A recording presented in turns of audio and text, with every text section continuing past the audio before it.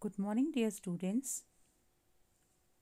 Today I am here with a new chapter of class 9th history Pastoralists in the Modern World.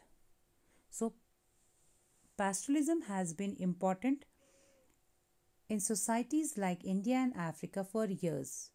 Pastoralism is a way of keeping animals such as cattle, sheep that involves moving from one place to another to find water and food. Nomads are people who do not live in one place but move from one area to another to earn their living and they move along with their cattle. Now, nomadism as a way of life. So, movement of pastoral nomads in mountains.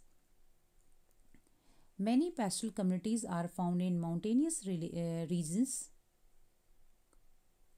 like Gujjar Bakharwals. Gujjar Bakharwals of Jammu and Kashmir are great herders of goat and sheep. Many of them migrated here in the 9th century in search of pasture for their cattle and settled here. In winters, when the mountains were covered with snow, they lived with their herds in the low hills of Shivalik range. Here, the dry scrub forest provided pastures for their herds.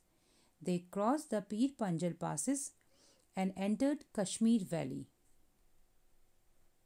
In summer, when the snow melted in the mountains and mountain sides were left lush green, they moved on to high levels.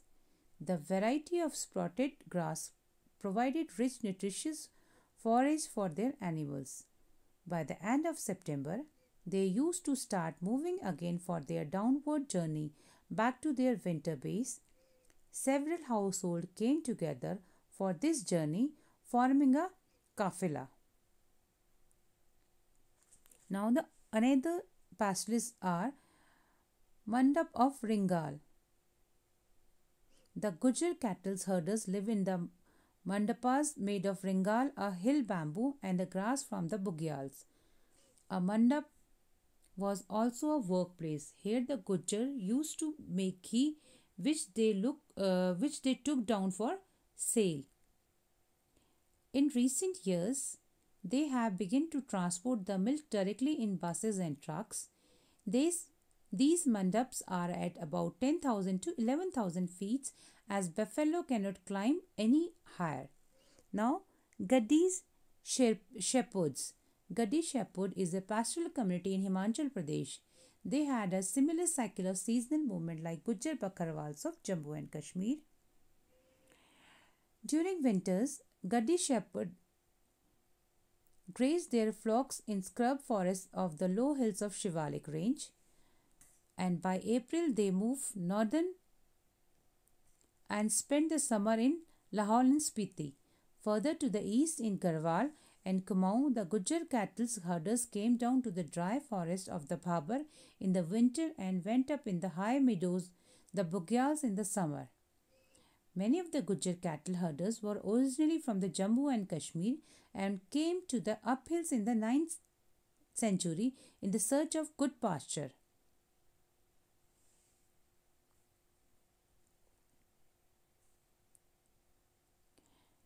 Now the Bhotiya shepherds and uh, Bhotias, Sherpas, and Kinnoris. Many pastoralists of the Himalayas, Himalayas like the Bhotias, Sherpas, and Kinnoris also follow cycle movement between summer and winter in search of pastures. They all had to adjust to seasonal changes and make proper use of available pastures. When the pasture was exhausted or unusable in one place, they moved their herds and flocks to new areas. This continuous movement of the pastures allow the pasture to recover. Now on the plateaus, plain and desert. In this, the pastoralist communities are also found in, in the plateaus, plains and desert of India, in which first of all we talk about the Dhangars. Dhangars were an important pastoral community of Maharashtra in the year 20th in the in the early 20th century, their population was more than 4 lakh. They were mainly shepherds blanket weavers, and buffalo herders. Dhangars stayed in the central plateau of Maharashtra during the monsoon. In the monsoon, this tract became a vast grazing ground for their flocks. By October, the Dhangars harvested the bajra and they started to move toward west. After a month reaches Konkan, which had high rainfall and rich soil, they were welcomed by the Konkani peasants.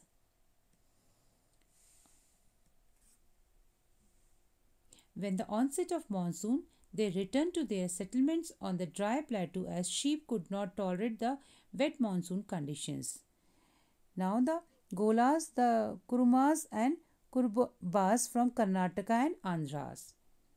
They are also the important pastoral communities of the dry central plateaus.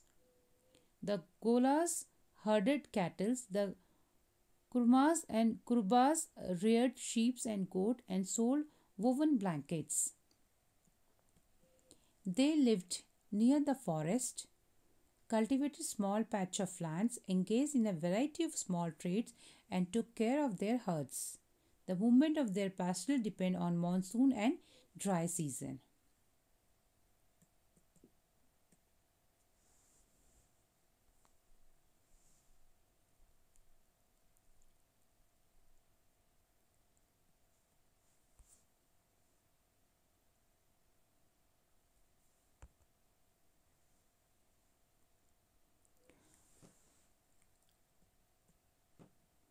Now the Banjara tribes. They were an important groups of grazers which were found in the villages of Uttar Pradesh, Punjab, Rajasthan, Madhya Pradesh and Maharashtra in search of good pasture land for their cattle. They moved over long distances. They sold their plough cattle and other goods to villages in exchange of grain and fodder.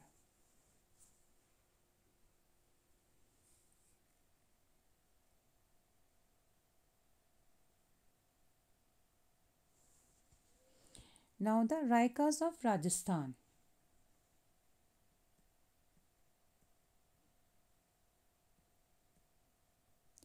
The Raikas of Rajasthan combine cultivation with pastoralism.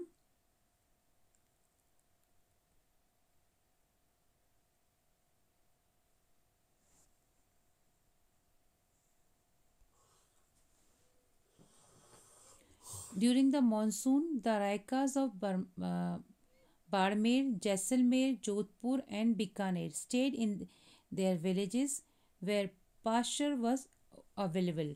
By October, they moved out in search of other pastures and water and returned again during the next monsoon.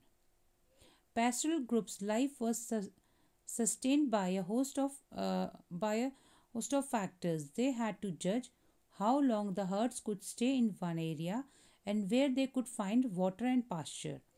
They needed to calculate the timing of their movements and ensure that they could move through different territories.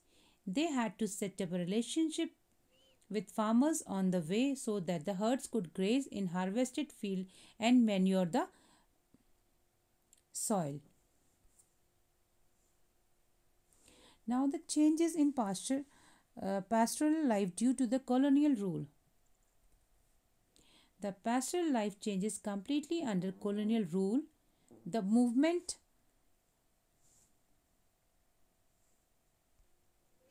their movement was regulated, grazing grounds shrank, and the revenue they had to pay increased. Even their agriculture stock declined, and their trade and craft was adversely affected.